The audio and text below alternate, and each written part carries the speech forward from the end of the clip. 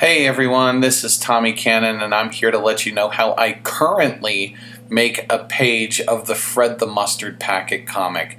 So here is how I made a page for Fred that's going to appear in a future issue of Comics Never Stop.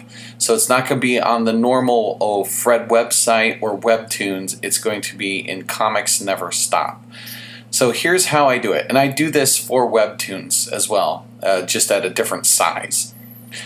So it starts with a notebook page. I just thought of the word coffee and it grew from there. So I made an idea and I put it in a little notepad.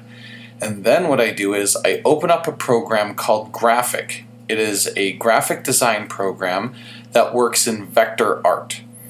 In that program, I lay out the words and the panels. That's right, I do the lettering first, just like they did for the old 1950s horror and science fiction EC comics. So, you know, the kinds that Wally Wood and Joe Orlando and Jack Davis worked on. So I kind of work around the lettering. And the notebook gives me a slight idea of where that will go. I then pencil the image, kind of loose, kind of light, so that way it erases easily. And I go ahead and ink the balloons around the words. Uh, once I do that, then I erase the lines and then I kind of touch up my line work. Uh, that's where I kind of add heavier lines where I want to put emphasis. If I want to do any hatching, I do it there. I then scanned it into the computer, and in this is instance, since it's going to Comics Never Stop, they have bigger pages.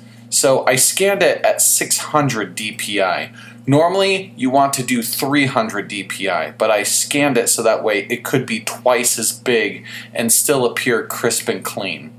So um, that's how I did it, and uh, you know, I put it into graphics, I lay out the panels, and I print it out that way, and I draw it right in there. So that's how I do it, and then I scan it in again so I can email it to people or add color.